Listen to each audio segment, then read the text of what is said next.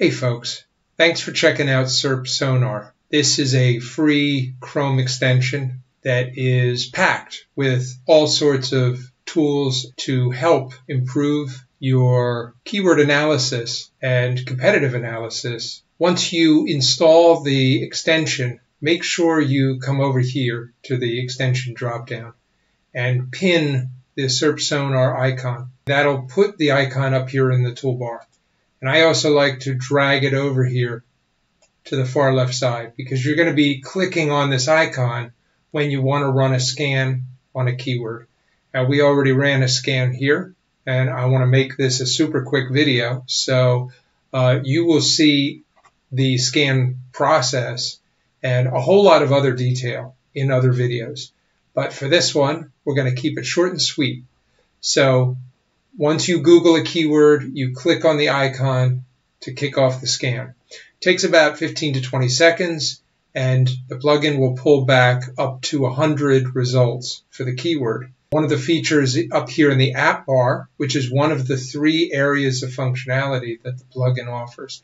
Up in this app bar, one of the features is the sonar depth setting.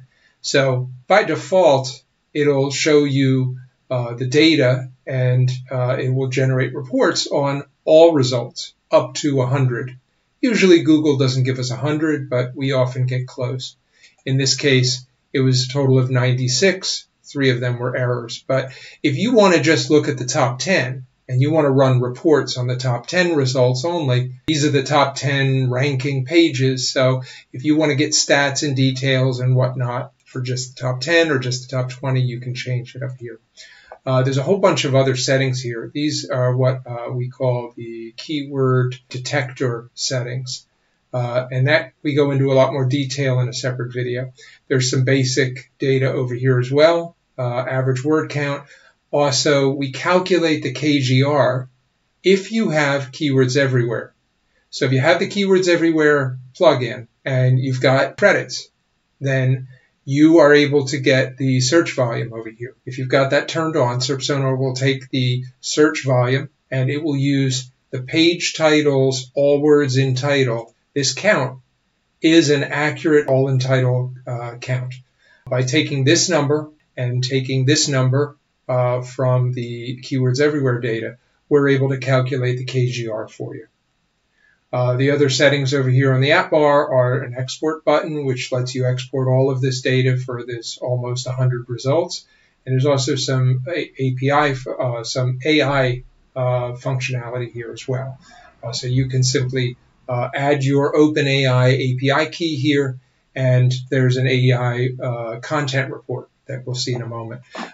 The second area of functionality for the plugin is what we call SERP overlay. And so there's a whole bunch of data that's presented here directly in the SERP. And again, this is, we go into great detail on this in a separate video, but what you can see are things like title changes or meta description changes. So MD change here means that Google rewrote this meta description versus the original.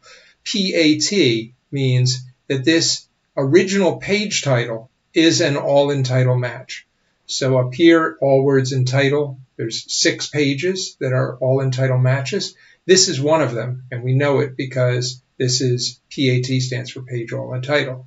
Some of the other things that we highlight in the SERP are, are the ad networks that are being used by the page, the affiliate networks being used by the page. So without even going over here, we know that, well, here it is. This is the spruce and we know that they use Amazon Associates. So there's a whole bu- a bunch of other data and information that surfaced using the SERP overlay feature.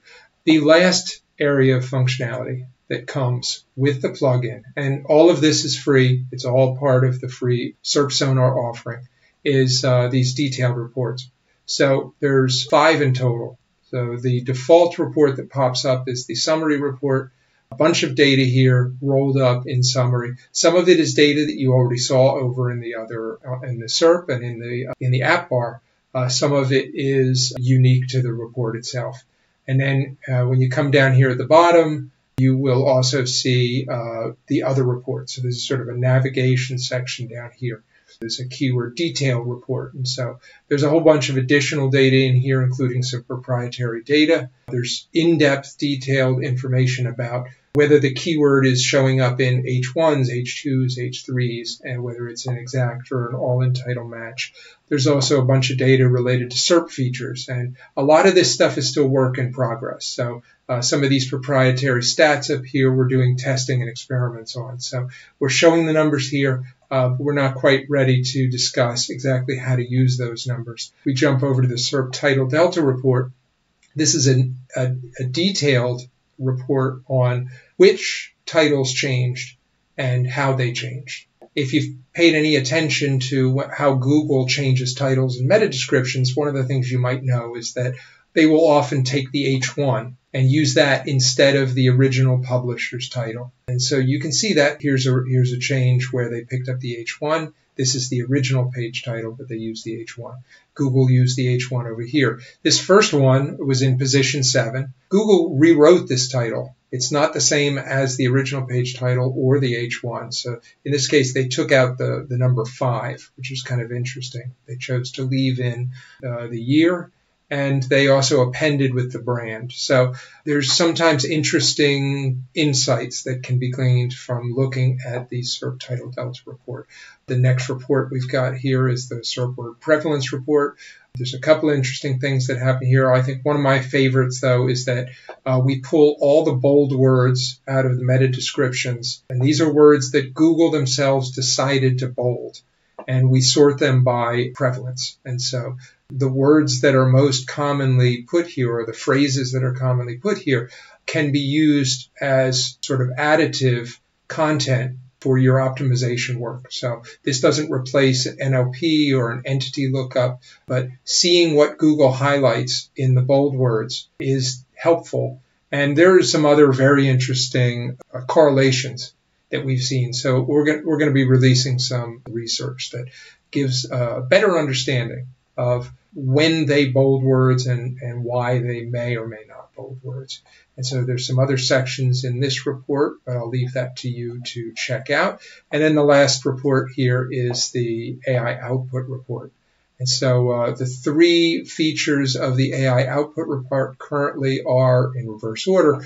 A meta description ideas. Lots of people leave their meta descriptions blank. They say, oh, Google's going to write them the way it wants to write them anyway. I think that's crazy. I think you should always include meta descriptions. If you don't want to think of them, ask the AI. We've got a nice prompt uh, built into the back end here. We're getting nice suggestions back from the AI the AI title tag uh, optimization ideas. If you are scanning this keyword for the first time yourself, you're not yet competing for it, but you've decided that you want to build a page for it, this report will help you come up with an idea for your titles.